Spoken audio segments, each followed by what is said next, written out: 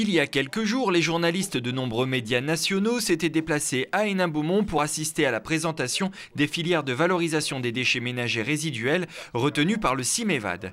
Un process développé par l'entreprise Tiru au sein de la toute nouvelle unité de tri-valorisation matière et énergie qui était inaugurée en lieu et place de l'ancienne usine d'incinération des déchets ménagers. On est aujourd'hui euh, très fiers d'avoir la réalisation euh, concrète et opérationnelle avec l'inauguration de cette unité TVME du CIMEVAD qui euh, d'une part euh, injecte du gaz dans le réseau GRDF, donc du biométhane, issus des déchets, et puis d'autre part produit des combustibles solides de récupération, c'est-à-dire des combustibles qui sont aujourd'hui utilisés à destination des cimentiers.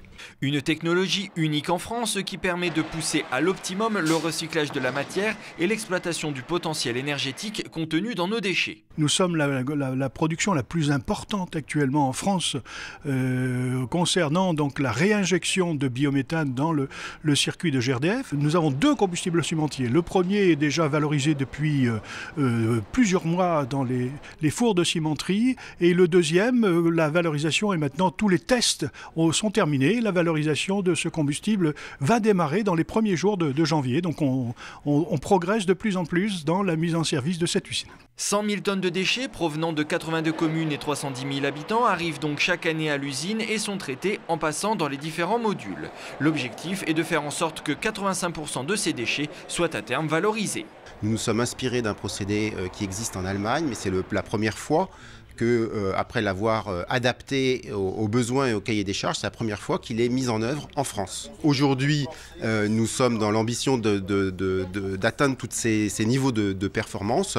C'est une usine qui est relativement complexe puisqu'il y a différents modules qui se suivent et qui s'enchaînent pour arriver à valoriser au mieux la matière et nous sommes confiants et optimistes pour les atteindre. Je mets en avant la qualité du personnel que nous avons ici et puis cet engagement, cette motivation du personnel qui est fier de son usine déjà hein, et, qui va nous permettre euh, non seulement d'atteindre des objectifs euh, rapidement, mais d'aller au-delà parce que notre, euh, notre ambition, c'est d'aller vers, à terme, vers le zéro déchet. Donc euh, on va s'appuyer beaucoup sur cette usine pour aller dans cette direction. Avec cette usine, le CIMEVA développe ainsi un modèle économique à long terme et envisage les futurs mouvements du marché de l'énergie.